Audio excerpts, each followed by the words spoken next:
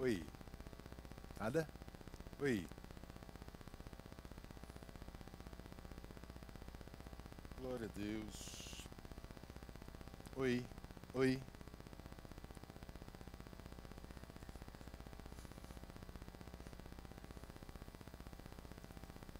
Oi, som. Ah, ei.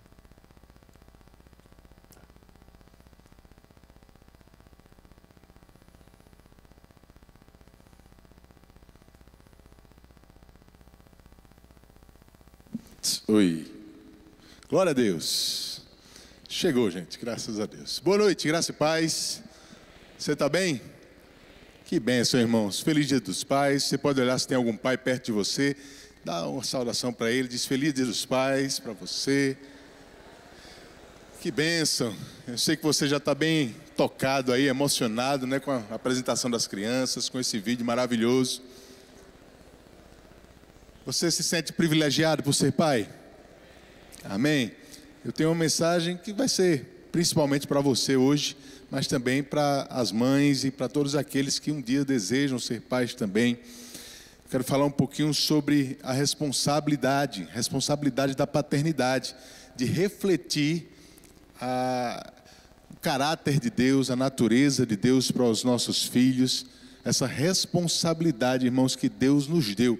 Você já parou para pensar que esse é o único papel que a gente compartilha com o mesmo nome que Deus também tem? Deus, ele se demonstrou para a humanidade, de, decidiu se demonstrar como sendo um pai e ele colocou esse mesmo título em nós, homens, pais também de família, e isso nos ensina alguma coisa, isso deve nos mostrar alguma coisa e deve nos trazer uma grande responsabilidade também. Eu queria que você abrisse comigo em Gênesis capítulo 5. Gênesis 5. A partir do primeiro versículo, diz assim: Gênesis 5:1. Este é o livro da genealogia de Adão no dia em que Deus criou o ser humano, a semelhança de Deus o fez. A gente sabe pelo capítulo 1 que Deus criou o homem à sua imagem, conforme a sua semelhança. É isso que Moisés está repetindo aqui no capítulo 5, dizendo que quando Deus criou o homem, a humanidade, ele criou a sua semelhança, a sua imagem. O versículo 2 diz: Deus os criou homem e mulher os abençoou e lhes deu o nome de ser humano no dia em que foram criados. Adão viveu 130 anos e gerou um filho à sua semelhança, conforme a sua imagem, e lhe deu o nome de Sete. Amém? Vamos parar por aqui. Nós sabemos, irmãos, que Sete não foi o primeiro filho de Adão, ele teve Caim e Abel, no capítulo 4 fala sobre isso. Mas o que eu quero destacar para você é que quando fala que Adão ele teve um filho chamado Sete, diz que ele foi gerado à sua imagem e semelhança também. Da mesma forma que Deus nos gerou, agora Adão estava gerando os seus filhos. E isso deveria passar para Adão uma responsabilidade, deveria passar para ele uma mensagem clara: Adão, da mesma forma que eu trato vocês, o que eu sou para vocês, o que eu faço para vocês, você deve fazer e ser para o seu filho também. Eita Jesus! Isso é uma grande responsabilidade para nós que somos pais. Afinal de contas, Deus nos chamou para refletirmos o seu cuidado, o seu caráter, a sua natureza, a sua paternidade por nós, para os nossos filhos. Você vai ser o primeiro exemplo de pai que o seu filho vai ter. E no mundo isso ficaria óbvio, mas irmãos, nós somos pais temporários. Porque o pai eterno é ele. Mas a imagem que os nossos filhos terão do seu pai eterno vai depender da imagem que nós vamos transmitir para eles como pais temporários. Amém? Como esses grandes representantes da paternidade de Deus aqui na terra. Eu estava vendo uma estatística, houve uma pesquisa há um tempo atrás, feita por algumas organizações cristãs nos Estados Unidos e na Europa. E essa pesquisa traz dados bem alarmantes para a gente. Ela dizia o seguinte: que quando o pai não frequenta a igreja, mesmo que a mãe frequente, isso resulta em que 18% dos filhos apenas desse tipo de família vão frequentar a igreja quando a decisão couber a eles. Olha só isso. Quando numa família o pai não frequenta a igreja, mesmo que a mãe frequente, apenas 18% dos filhos dessas famílias, quando decidirem, vão frequentar a igreja um dia. E olha como as estatísticas mudam. Quando o pai frequenta a igreja, mesmo que a mãe não frequente, esse número sobe para 66% dos filhos. Quando pai e mãe frequentam a igreja, o número sobe para 75% dos filhos. Isso foi um estudo realizado em várias famílias nos Estados Unidos e na Europa. Mas isso mostra para a gente a importância da figura do pai, da imagem do pai, do exemplo do pai. Aleluia! Oh, glória a Deus! Sabe, irmãos, nós temos uma grande responsabilidade. Eu quero falar para os homens essa noite. Nós temos uma grande responsabilidade para com os nossos filhos. Nós somos, eu não sei se é assim na sua casa também. Lá em casa eu sou a última instância. É aquela coisa, a mãe tenta resolver, quando não dá jeito, ela diz: Olha, eu vou contar para o seu pai. Seu pai vai resolver. Como se fosse a última instância de resolução, a, a, a, quem tem a palavra final. Você tem a palavra final sobre o futuro dos seus filhos. Amém. E sabe, irmãos, precisamos refletir vários aspectos da paternidade de Deus na nossa casa. Precisamos ser essa referência de paz que os nossos filhos vão ter. E eu quero trazer para você essa noite alguns desses aspectos da paternidade de Deus que nós precisamos estar refletindo na nossa casa, atuando, agindo dessa forma em nossas casas com os nossos filhos. A primeira delas, o primeiro desses aspectos, diz respeito à correção e disciplina. Quantos aqui sabem que Deus ele corrige os seus filhos? Se Deus trata assim os seus filhos, nós precisamos tratar assim os nossos filhos também. Lá em Provérbios capítulo 3, se você quiser abrir comigo, Provérbios capítulo 3, no versículo 11, diz assim: Meu filho, não rejeite a disciplina do Senhor, nem se aborreça com a sua repreensão porque o Senhor repreende a quem ama, assim como um pai repreende o filho a quem quer bem. Oi, está saindo aqui? Maravilha. Então chegou. O Senhor repreende a quem ama, como um pai repreende o filho a quem quer bem. Veja, irmãos, a repreensão, a disciplina, a correção são parte do relacionamento entre pai e filho. É assim entre nós e Deus. E essa disciplina e correção não pode estar ausente no nosso relacionamento com os nossos filhos.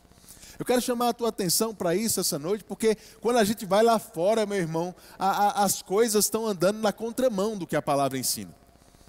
Quando a gente vai lá fora, a, as famílias são cada vez mais estimuladas a corrigir menos os seus filhos e corrigir de forma menos intensa. Mas sabe, a Bíblia nos ensina que, primeiro, correção é parte do comportamento de Deus para conosco, do caráter de Deus para a gente, faz parte do nosso relacionamento com Deus, deve fazer parte do nosso relacionamento com os nossos filhos. E correção é para o pai que ama o filho. Você ama os seus filhos? Se você ama o seu filho, você precisa corrigi-lo, você precisa discipliná-lo é amor, é demonstração de amor. Lá em Provérbios capítulo 13, o, o, o, Salomão ele diz a mesma coisa, ele diz no versículo 24: O que retém a vara odeia o seu filho. Isso é muito forte, irmão. Um pai odiar o seu filho é uma expressão muito forte. Mas a Bíblia diz que se você retém a vara, se você se abstém de disciplinar e corrigir o seu filho, é uma demonstração de ódio. Não é sério isso, irmãos? Mas o, o, versículo continua dizendo que aquele que ama o seu filho, ele vai repreendê-lo. Quem ama o seu filho disciplina desde cedo. Deixa eu te perguntar mais uma vez: você ama o seu filho? Então, não se abstenha de disciplinar as suas crianças. Desde cedo. Desde cedo, irmãos. Corrigi-los, repreendê-los, ensiná-los, discipliná-los. Vai comigo para Hebreus capítulo 12.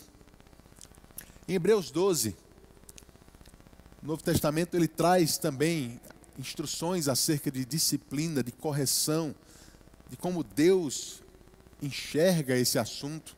Nos versículos 5 e 6, eles até citam o texto que a gente leu de Provérbios, capítulo 3.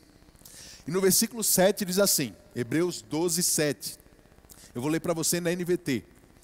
Enquanto suportam essa disciplina de Deus, lembrem-se de que Ele os trata como filhos. Diga, Deus me trata como filho. Aleluia. Quem já ouviu falar de um filho que nunca foi disciplinado pelo pai?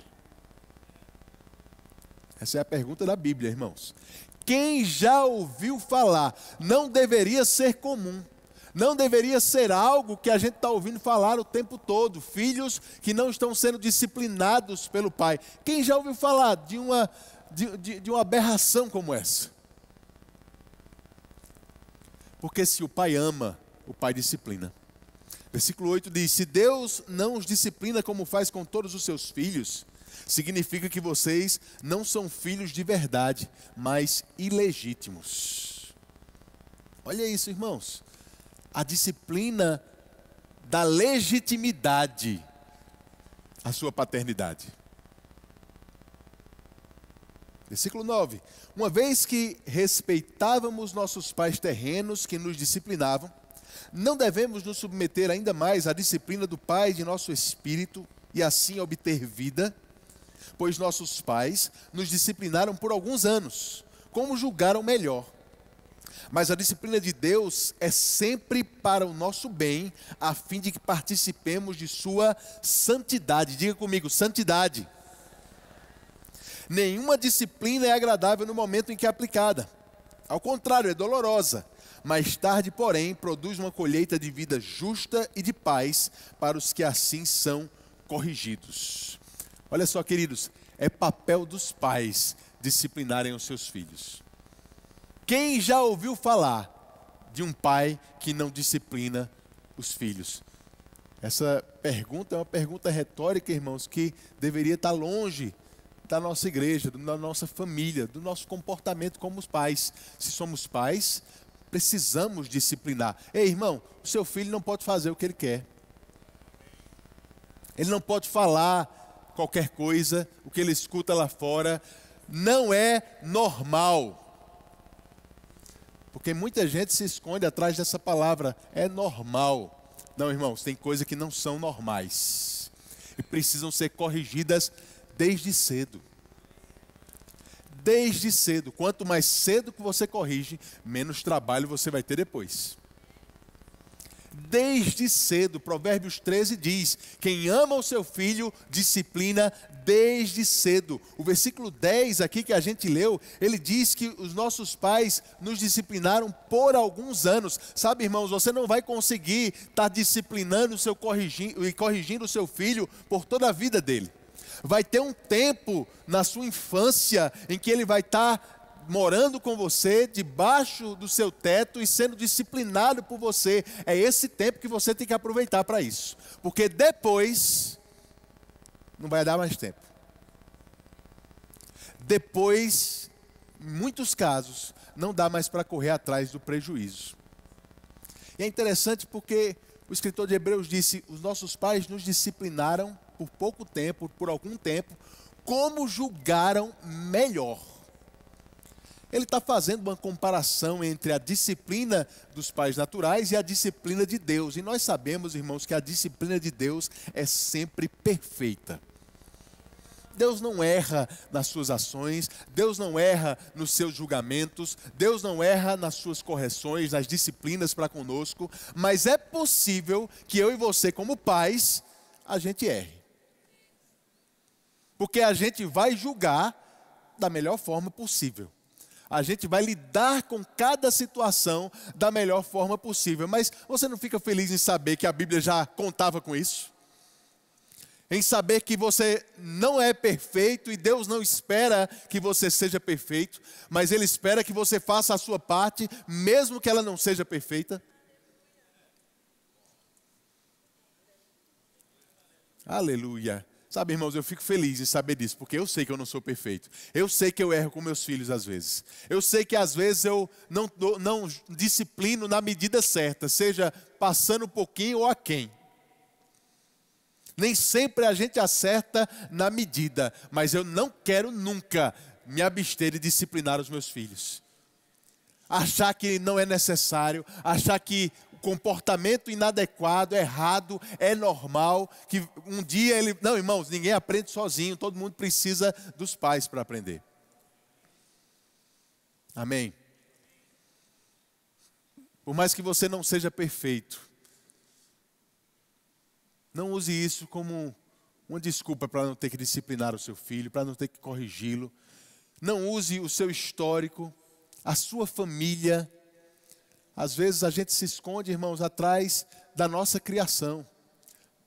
Eu não fui criado bem e por causa disso é, é normal que eu erre com meus filhos. Não, irmão, você agora nasceu de novo.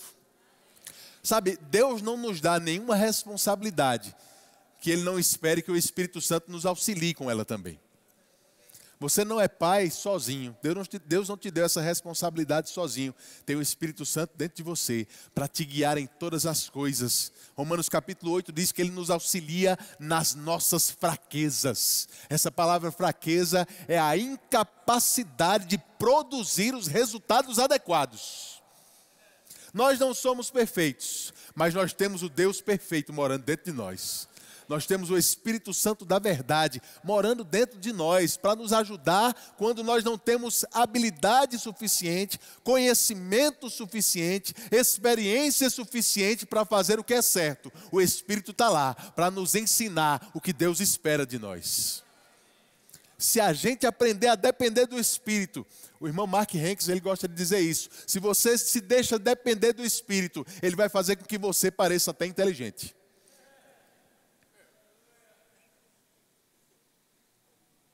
Nós precisamos depender do Espírito para corrigir os nossos filhos, para educar os nossos filhos, para ensinar os nossos filhos. Ninguém conhece melhor eles do que aquele que os criou. Eu estou falando do Pai do céu. Amém, irmãos? Não se abstenha, faça o seu melhor, mesmo não sendo perfeito. Ele diz que Deus disciplina os seus filhos para que eles possam ser participantes da sua santidade. Olha só, nós somos disciplinados por Deus para que a gente possa participar do caráter dele e dos mesmos valores que Deus tem. A disciplina vem para que a gente possa transmitir e moldar para os nossos filhos caráter e valores caráter e valores. É na correção e na educação que você está ensinando o seu filho a valorizar o que você valoriza. Porque é assim que você está ensinando para ele o que você considera que é certo e o que você considera que é errado. Eu não quero que o mundo ensine isso ao meu filho, irmão. Eu não quero que a escola ensine isso ao meu filho. Quem vai ensinar para o meu filho o que é certo e errado sou eu e a mãe dele. É a palavra de Deus que é esse grande árbitro do que é certo e errado. Sabe, irmãos, eu, eu, eu, já falei sobre isso aqui, mas esse eu acredito que foi o grande problema lá quando Eva comeu daquele fruto proibido. Porque a serpente disse para ela: se você comer, você vai se tornar igual a Deus, conhecedor do bem e do mal conhecedor do certo e do errado. E de fato, aquilo não era mentira. O próprio Deus, ele reafirma isso quando encontra com o homem e a mulher, e ele diz: O homem comeu da, da, do fruto que eu ordenei que não comesse, e agora ele se tornou como um de nós, conhecedor do bem e do mal. E isso pode até parecer uma coisa boa, mas aos olhos de Deus não era. Porque o homem ele estava tomando uma decisão de ser agora independente de Deus e decidir por si só, por si mesmo, o que seria certo e errado para a vida dele. Mas nós não fomos criados para viver e julgar o que é certo e errado por nós mesmos.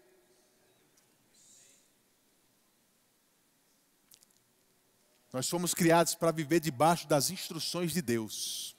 É Ele que diz que é certo e errado. Eu não sei você, irmãos, eu não sei o seu filho. O meu filho não tem condições de decidir por si mesmo o que é certo e o que é errado. Se eu não estiver lá instruindo ele, se eu não estiver lá dizendo para ele, irmãos, ele vai querer fazer muita coisa que vai trazer prejuízo para ele. E quando a gente vai, quando, o nosso filho nasce, ele vai crescendo, é isso que a gente começa a observar na maturidade dos nossos filhos. Maturidade, de uma certa forma, é isso: é você ir ao, te, ao, longo das experiências, do conhecimento que vai adquirindo, entendendo melhor o que é prejudicial e o que não é, o que vai dar um bom resultado para você ou não, independente do que você quer. Porque maturidade é você fazer o que é certo, querendo fazer ou não. Amém? Maturidade é você querer fazer algo, mas não fazer, porque você sabe que aquilo é danoso para a sua vida. Só que criança não tem maturidade, precisa dos pais, da mesma forma como nós não temos a maturidade de Deus. Precisamos dele. Por mais inteligente que você se considere, por mais maduro que você se considere, nós não somos nada comparados com Deus, irmãos. Deus é pelo menos um pouquinho mais inteligente do que você. Você não concorda comigo? Seria burrice da nossa parte não querer depender dele, não querer ouvir as instruções dele acerca do que é certo e errado para as nossas vidas. Foi assim que nós fomos criados. E é assim que nós vamos espelhar a paternidade de Deus para os nossos filhos, educando, corrigindo, disciplinando, trazendo ele de volta para a sensatez. Olha, isso aqui não é certo, meu filho. Por mais que isso dê prazer para você, por mais que isso dê algum tipo de alegria para você, nem sempre o que dá prazer é o que vai trazer bons resultados. Disciplina, correção, educação, da mesma forma como dependemos de Deus, nossos filhos dependem de nós. Depende de nós. Efésios capítulo 6, no versículo 4 diz: Pais, não tratem seus filhos de modo a irritá-los. Antes, eduquem-nos com a disciplina e a instrução do Senhor. Oh glória! Você não fica feliz porque não é a sua disciplina e sua instrução, mas é a do Senhor? Você é um mero transmissor das verdades que você recebe de Deus para os seus filhos. Você recebe do Senhor e transmite para Ele. Você recebe do Senhor, pratica na sua vida e ensina para Ele, com instruções, mas também com exemplo. Amém, irmãos? Disciplina, correção, vara. Ei, seu filho precisa da vara. Se a Bíblia diz que ele precisa, irmão, é porque ele precisa. Não importa o que qualquer outra pessoa diga, a Bíblia ela é mais verdadeira do que qualquer instrução que a gente possa receber. Eu fico com o que a palavra de Deus diz. Eu não sei você, eu apanhei um pouquinho na minha vida. E quando eu digo um pouquinho, eu quero dizer muito. Eu não sei se você é irmão mais velho, mas geralmente o mais velho acaba apanhando mais. Porque o mais novo ele erra menos porque está vendo o outro apanhando.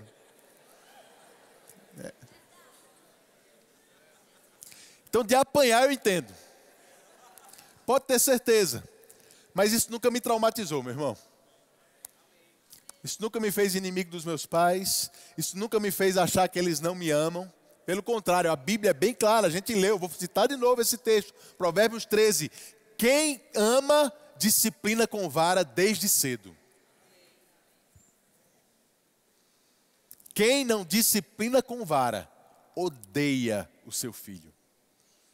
Isso é muito forte, irmãos. Eu não quero expressar ódio, odiar o meu filho. E eu já entendi, sabe, irmãos? Às vezes, eu sei que não é fácil, muitas vezes, a gente bater nos nossos filhos, a gente disciplinar eles. Mas se você entende que você está demonstrando amor com aquilo, vai ficar mais fácil e mais leve para você. E você vai fazer da forma certa, sem exageros, na intensidade adequada, com propósito certo para amar. O uso da vara é amor pelos nossos filhos. Você ama o seu filho? Oh, glória a Deus. Então deixe isso marcado na vida dele. Desculpe o trocadilho.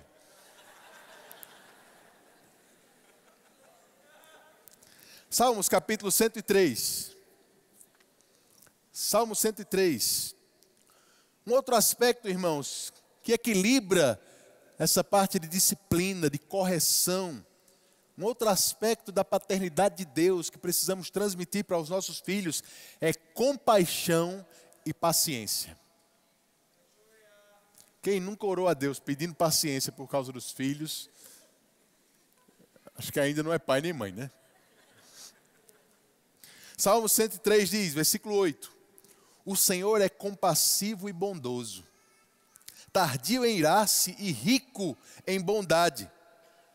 Não repreende perpetualmente, nem conserva para sempre a sua ira. Não nos trata segundo os nossos pecados, nem nos retribui conforme as nossas iniquidades.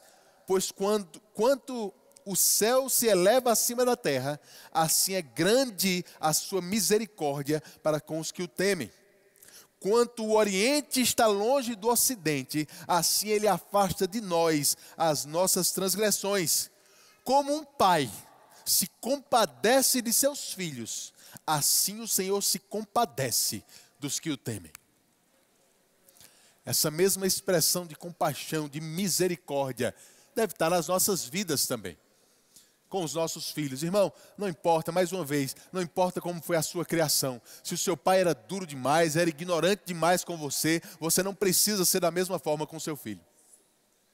E você não pode usar isso como desculpa para não exercer o fruto do Espírito na sua casa. Aleluia. Eu brinquei, né, que a gente pede paciência ao Senhor, mas sabe que você não pode pedir o que você já tem? Gálatas capítulo 5 diz que paciência é fruto do Espírito. Isso quer dizer que no momento que você nasceu de novo, paciência já está lá dentro de você. Longanimidade já está lá dentro de você. Domínio próprio já está lá dentro de você. A gente só precisa colocar para fora. Eu sei, irmãos, que às vezes nossos filhos, eles puxam maior nível de paciência que nós temos. O maior nível de longanimidade que nós temos. Mas quando você estiver bem irritado com seu filho, pensa: quantas vezes eu já exigi da compaixão e da misericórdia de Deus? Quantas vezes Deus teve que ser compassivo comigo, misericordioso comigo. Quantas vezes eu errei a mesma coisa várias vezes, mesmo sabendo o que tinha que fazer. Eu não sei se o seu filho é assim, o meu eu preciso repetir algumas vezes para poder ele aprender, e tem coisa que eu estou repetindo até hoje. Mas um dia ele vai aprender. Um dia a gente vai aprender também, mas até lá, Deus continua falando as mesmas coisas para nós. Em amor, em paciência, em compaixão, em longanimidade, sem desistir da gente, sem exagerar na, na, na medida, na dose certa. Amém porque Ele nos ama. Então seja compassivo com o seu filho também, tenha misericórdia, seja paciente com o seu filho, equilibre a disciplina correta com a paciência adequada. Você nunca vai passar do limite com ele. Nunca vai passar do limite. Irmãos, a Bíblia ela é equilibrada, a Bíblia é perfeita. A mesma Bíblia que diz para a gente eh, eh, disciplinar com vara, manda a gente ser paciente e misericordioso também. Seja equilibrado. Ninguém está falando aqui de exagero, ninguém está falando de espancar filho de ninguém. Não é isso que a Bíblia ensina. Não é isso que a Bíblia ensina. Amém. Aleluia. Provérbios capítulo 22, no versículo 6. Na verdade, a gente ainda está lá em Não, desculpe, desculpe. A gente vai avançar um pouquinho aqui. Eu queria que você fosse para Deuteronômio, capítulo 6. Um outro aspecto da paternidade de Deus que eu quero trazer para você essa noite é a disposição para ensinar, para orientar, para instruir com palavras, mas também através do exemplo. A Bíblia diz em Deuteronômio 6, versículo 4, eu vou ler na NVT, diz: Ouça, ó Israel, o Senhor nosso Deus, o Senhor é único. Ame o Senhor seu Deus de todo o seu coração, de toda a sua alma, de toda a sua força. Guarde sempre no coração as palavras que hoje eu lhe dou. Repita-as com frequência a seus filhos. Conserve a respeito, conserve, desculpe, converse a respeito delas quando estiver em casa e quando estiver caminhando, quando se deitar e quando se levantar. Amarre-as às mãos e prenda-as à testa como lembrança. Escreva-as nos batentes das portas de sua casa e em seus portões. O Senhor traz uma instrução para aquelas pessoas, para o povo de Israel, e ele diz: a primeira coisa, guarde essas palavras no seu coração. Guarde, agora transmita essas palavras para os seus filhos. Converse com eles quando estiver, quando estiver em casa. Converse com eles quando estiver no caminho. Irmãos, as instruções que a gente tem recebido, nós temos recebido para praticar, mas também para transmitir para a nossa família. Para ensinar aos nossos filhos. Você é o primeiro referencial de pai que o seu filho vai ter. E você precisa instruir os valores de Deus na vida dele transmitir os valores de Deus. Mas é interessante que a, a, a, responsabilidade dos pais não era apenas transmitir, mas ele diz: amarre na mão, cole na testa, para você não esquecer também. Porque não é só fazer o que eu digo, é fazer o que eu faço.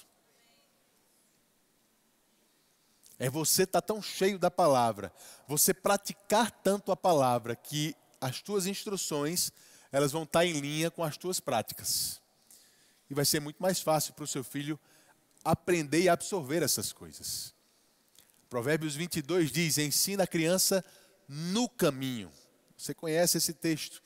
Não é o caminho, é no caminho. Você no mesmo caminho que ele. Porque não adianta, irmãos, Deus ele nos ensina através de exemplos. Jesus nos ensina através de exemplos. Paulo ele disse várias vezes: "Seja meu imitador, como eu sou de Cristo". Então, o primeiro crente que o seu filho deve conhecer é você. É em você que ele vai saber como um crente se comporta, é com você que ele vai saber como um crente fala, é com você que ele vai ver como um crente cumpre com a palavra como um crente gosta de ir para a igreja, chega na hora. Eita Jesus. Mas não é só o que você diz, é o que você faz.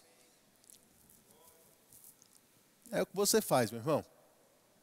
Amém? Eu não sei se, se eu dei esse exemplo no mês passado, eu ministrei em algumas igrejas e a gente acaba falando algumas coisas e não, não lembro exatamente onde falou. Mas, irmãos, eu, eu lembro, né, Painho ele gosta muito de futebol. Né, gosta demais. E, e aqui na igreja, nosso culto sempre foi mais ou menos esse horário que você sabe que é o horário que pega mais ou menos o segundo tempo do Campeonato Brasileiro. Não é assim? E ele sempre estava envolvido no louvor da igreja, desde a prata, tocava, estava escalado. E eu olhava ele se arrumando para ir para a igreja, para tocar. Ele tomava banho rápido e corria para frente da televisão para se enxugar e trocar de roupa assistindo o jogo enquanto dava tempo antes de ir para a igreja. Estava lá se arrumando e olhando o jogo, olhando o jogo, e ficava até o último momento que pudesse para não chegar atrasado na igreja. E tem duas formas de você ver isso. Você pode estar pensando, rapaz, Tadeu é carnal demais. Em vez de se arrumar rápido e logo para a igreja, fica no jogo. Não, irmão, sabe o que eu aprendi com isso? Eu aprendi que tem coisas que a pessoa gosta mas que ela tem que deixar de fazer, porque tem coisas mais importantes. Eu sabia que meu pai gostava muito de futebol, mas na hora da igreja, ele desligava o jogo e ia para a igreja.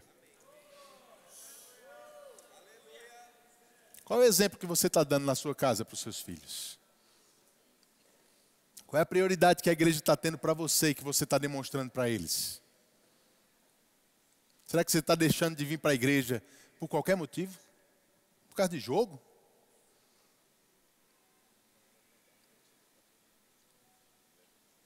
Oh, glória a Deus. Mas eu não estou falando para você, não, porque você está aqui.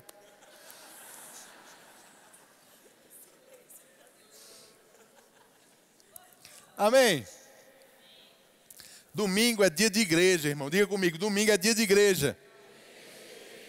Não tem nada mais importante no domingo do que vir para a igreja.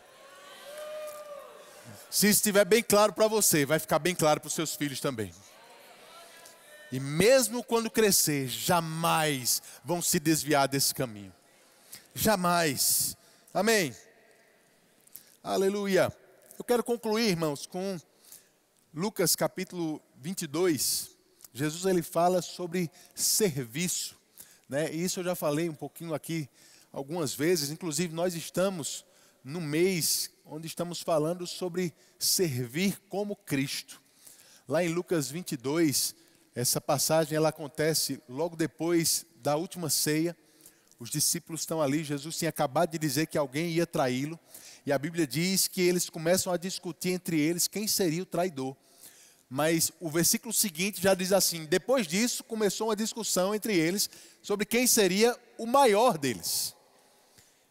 E Jesus começa agora a corrigir os seus discípulos, trazer uma instrução para eles, que ele já tinha ensinado pelo menos três vezes antes, a mesma coisa.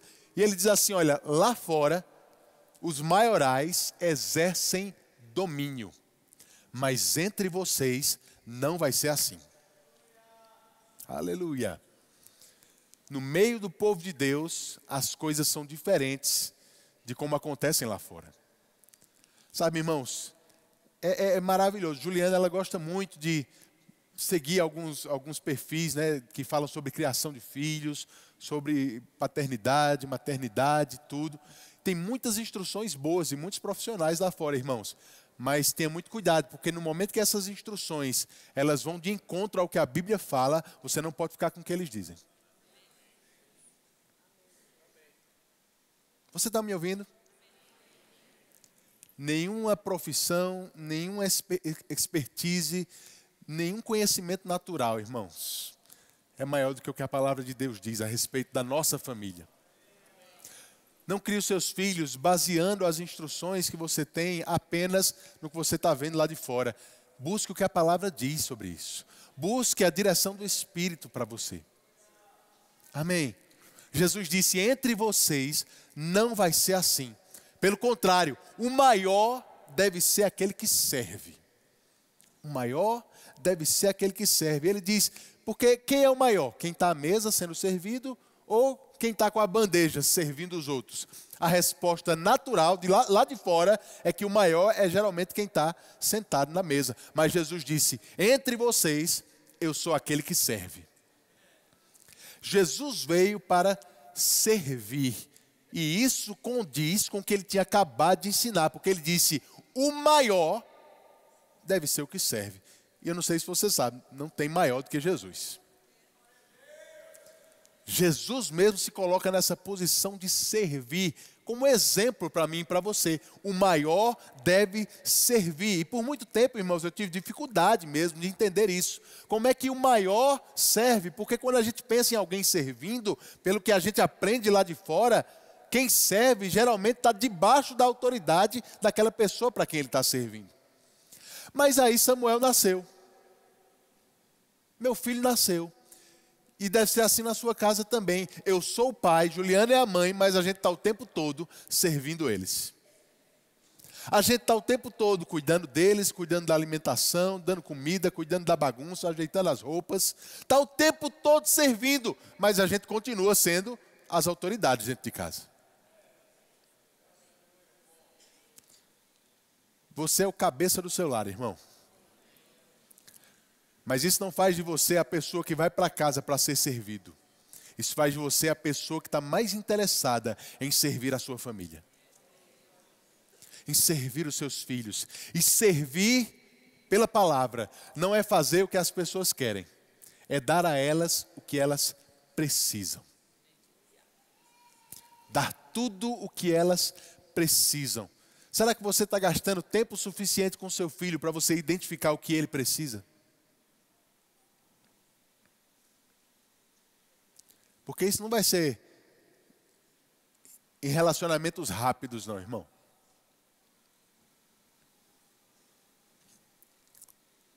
Deixa eu te dizer uma coisa. Por mais que você ame o seu filho, o seu amor não vai se converter automaticamente em influência na vida dele.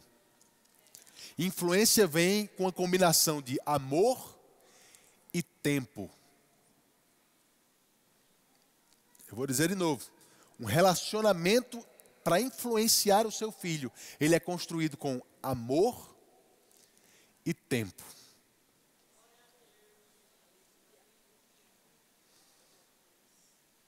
Aleluia.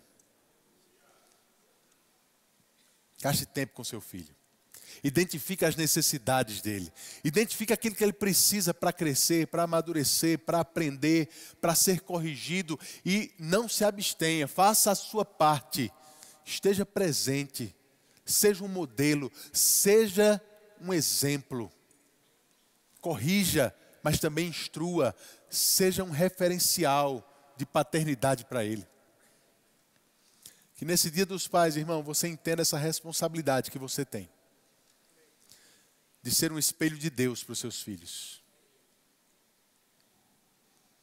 De ser um espelho de Deus.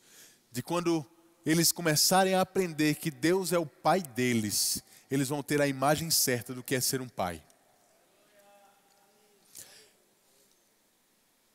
Amém? Aleluia. Que benção, querido. Eu queria orar pelos pais. Você pode ficar de pé no seu lugar, você que é pai, por favor.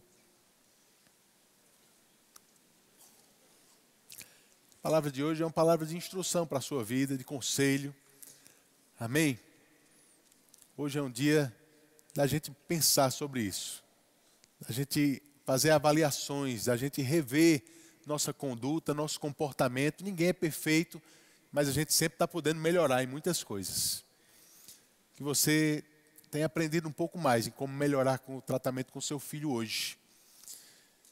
Porque a gente está desenvolvendo homens e mulheres de Deus que vão mudar esse mundo. Irmãos, meus filhos vão ser melhores do que eu. Eles vão fazer mais para Deus do que eu tenho feito. Eles talvez vão ser parte da geração que vai estar preparando o mundo para a volta de Jesus. Que responsabilidade você tem. Aleluia. Mas também que privilégio, irmãos. Ver os nossos filhos crescerem, amadurecerem. E claro, a gente sabe, Deus é o principal responsável por tudo, mas a gente tem parte do que está acontecendo. A gente tem parte no que está acontecendo. Você se alegra com isso? E sempre dá tempo para fazer ajustes e mudar a rota. Talvez o relacionamento entre você e o seu filho, a sua filha, não tenha sido mais adequado até hoje. Mas se você está aqui essa noite, é porque Deus está chamando a tua atenção para uma mudança de rota. E se você mudar a sua vida, essa mudança vai impactar nos seus filhos também. Decida fazer diferente hoje. Decida ser melhor. Amém? Feche os seus olhos. Vamos orar, irmãos. Como eu te disse, paternidade não é algo que a gente faz só. O Espírito Santo está dentro de nós. Senhor, nós te pedimos mais sensibilidade ao teu Espírito. Para a gente saber como lidar com cada situação, cada desafio que se levanta dentro da nossa casa, com os nossos filhos, desde bebês até adolescentes, Pai que você possa nos ensinar, através do teu Espírito, não só as palavras certas, mas também a forma de falar correta e a forma de agir corretamente, o tempo e o modo de cada coisa, Pai. Queremos ser um referencial adequado para eles. Queremos ser um espelho do teu caráter, da tua vontade, da tua bondade, do teu amor para eles, Pai. Queremos, Senhor, que a luz que está dentro de nós brilhe forte para que eles possam sair de qualquer atração que as trevas podem estar trazendo sobre eles e que eles possam correr para a tua luz. Senhor, nós rejeitamos que a influência do mundo vai ser maior na nossa casa do que a nossa influência. A maior influência na nossa casa seremos nós. Seremos nós, Senhor. Através do teu espírito, com as instruções da tua palavra, com os princípios da tua palavra na nossa vida, praticando, sendo filhos obedientes, demonstrando respeito e honra a você como pai, isso vai servir de referência para como os nossos filhos vão nos tratar e vão nos enxergar. Muito obrigado, oramos pelos nossos filhos, Pai. Cremos, Senhor, deles crescendo em graça, em sabedoria, em estatura diante de Deus e dos homens. Cremos que eles vão ser aqueles como Davi, que vai, vão impactar a sua geração impactar a sua geração. Que eles vão fazer exatamente aquilo que você os criou para fazer. Vão andar no centro da tua vontade. Vão ser homens e mulheres cheios do Espírito, cheios da palavra, guiados pelo Espírito Santo, cheios de sabedoria do alto. Vão ser ainda melhores do que nós. Para a honra e glória do teu nome, Senhor. Para a honra e glória do teu nome. É isso que nós te agradecemos essa noite, em nome de Jesus. Amém. Aleluia. Glória a Deus. Você pode sentar?